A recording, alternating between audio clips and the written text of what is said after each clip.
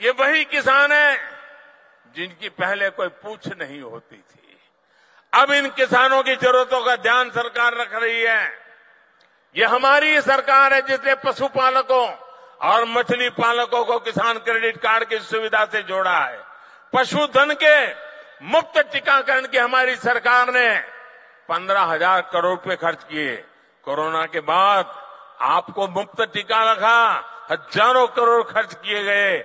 आपके हर परिवारजन को बचाने की कोशिश की गई। इतना ही नहीं, अब पंद्रह हज़ार करोड़ रुपया खर्च करके मुफ़्त में पशु का टीकाकरण भी हो रहा है। आप भी इसका फ़ायदा उठाइए।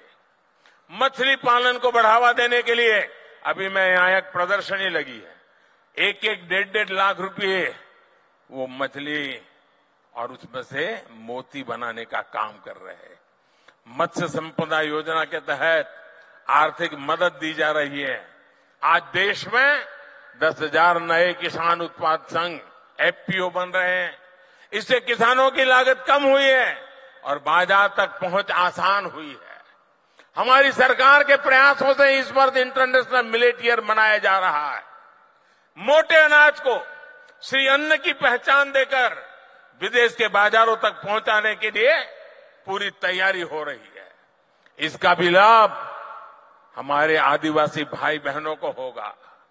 साथियों, सरकार के इन चौतरफा प्रयासों से झारखंड जैसे राज्यों में नक्सली हिंसा में भी कमी आई है। एक दो साल में झारखंड की स्थापना के 25 साल पूरे होने जा रहे हैं। ये झारखंड के लिए बहुत ही प्रेरणादायी समय है। इस माइलस्टोन पर झारखंड में 25 योजनाओं के सेचुरेशन का लक्ष्य लेकर काम शुरू किया जा सकता है। मैं झारखंड सरकार से भी आग्रह करूँगा, मैं झारखंड के सभी नेताओं से आग्रह करूँगा कि 25 साल का लक्ष्य तय करके एक बहुत बड़ा अभियान चला जाए। इससे राज्य के विकास को नई गति मिलेगी और यहाँ के लोगों का जीवन भी और आसान बनेगा। हमारी सरकार शिक्षा के विस्तार और युवाओं के अवसर देने के लिए प्रतिबद्ध है। देश में आज आधुनिक राष्ट्रीय शिक्षा नीति बनी है। अब विद्यार्थियों को मातृभाषा में मेडिकल और इंजीनियरिंग की पढ़ाई का विकल्प मिल रहा है। बीते नौ वर्षों में पूरे देश में 300 से अधिक यूनिवर्सिटीज बनी है। साढ़े पाँच हज़ार से अधिक नए कॉलेज बने हैं। डिजिटल निधि अभियान ने युवाओं को नए अवसर दिए हैं। गाँव गाँव कॉमन सर्विस सेंटर्स में हज़ारों युवाओं को रोज़गार मिला है। एक लाख से अधिक स्टार्टअप के साथ दुनिया का तीसरा बड़ा इकोसिस्टम भारत में बना है। आज रांची में आईआईएम कैंपस और आईआईटी आईएसएम धनबाद में नए हॉस्टल का भी लोकार्पण हुआ है। साथियों अमृत काल में चार अमृत स्तंभ, हमारी नारी शक्ति, हमारी युवा शक्ति, हमारी कृषि शक्ति और हमारे गरीब और मध्यम वर्ग की सामर्थ्य शक्ति, भारत को निश्चित ही नई ऊंचाई पर ले जाएँगे, विकसित भारत बनाएँगे। मैं इन परियोजनाओं के लिए, राष्ट्र निर्माण के इस अभियानों के लिए एक बार फिर आप सबको निमंत्रण भी देता हूँ, आप सबको बधाई भी देता हूँ। मेरे साथ मैं कहूँगा भगवान बिरसा मुंडा, आप कहिए, अमर रहे अमर रहे। भगवान बिरसा मुंडा, अमर रहे अमर रहे। भगवान बिरसा मुंडा, दोनों हाथ ऊपर करके पूरी ताकत से बोलिए, भगवान बिरसा मुंडा। भगवान बिरसा मुंडा की धरती आबा, भगवान बिरसा मुंडा की। झारखंड के राज्यपाल सीपी राधाकृष्णन जी,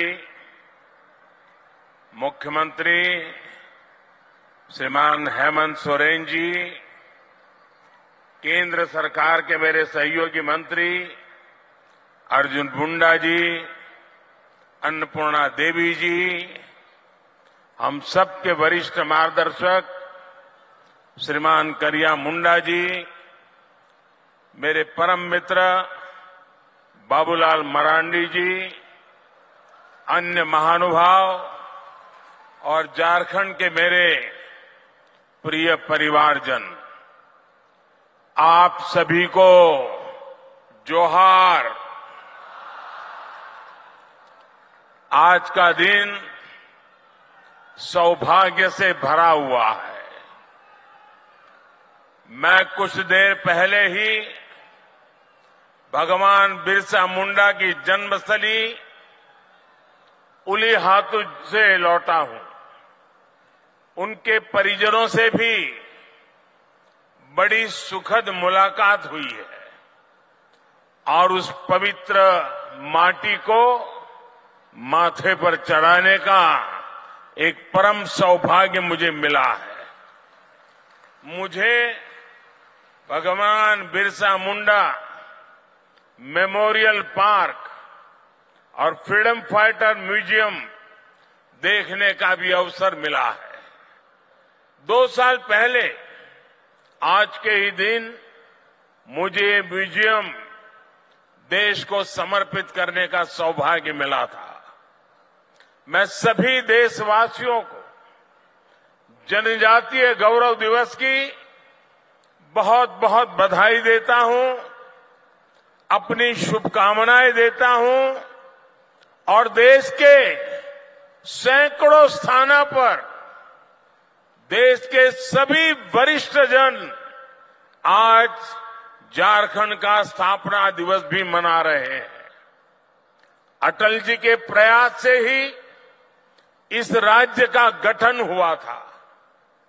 देश को विशेषकर झारखंड को अभी पचास हज़ार करोड़ रुपए की अलग अलग योजनाओं का उपहार मिला है।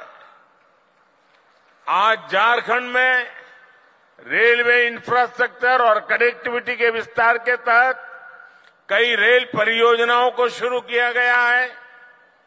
आपको ये जानकर खुशी होगी कि झारखंड भी देश के 100 percent, hundred percent electrified rail route वाला राज्य बन गया है। इन परियोजनाओं के लिए मैं आप सभी मेरे झारखंड वासियों को बहुत सारी बधाई देता हूँ।